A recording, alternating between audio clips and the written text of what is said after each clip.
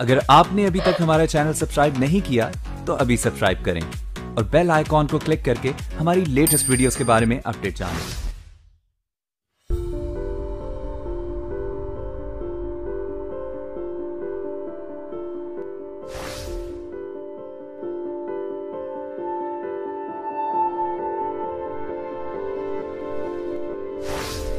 होली के त्यौहार की बहुत बहुत बधाई और शुभकामनाएँ।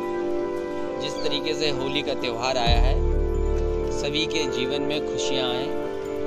जो हमारे भारत में एकता, आपस में प्रेम, भाईचारा का जो हमेशा रहा है, हमारे देशवासियों के बीच में भाईचारा और बढ़े, एकता और बढ़े। जहाँ तक सवाल राजनीति का है, भारतीय जनता पार्टी की सरकार हर संस्था को खत्म करना चाहती है। हमें खुशी है आज कि हाई कोर्ट के कम से कम सरकार को ये निर्देश मिले हैं कि जिस तरीके से उन्होंने पोस्टर लगाए थे आंदोलन करने वालों के, अब सरकार को ही पोस्टर हटाने पड़ेंगे।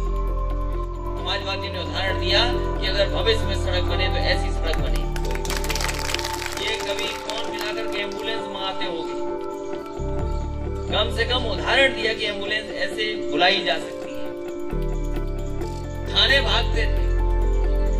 पुलिस बुलाने के लिए भी नंबर दिया।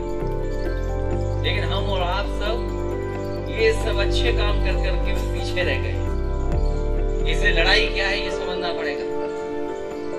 लड़ाई ये है कि हमें और आपको आगे बढ़ने नहीं देना चाहते।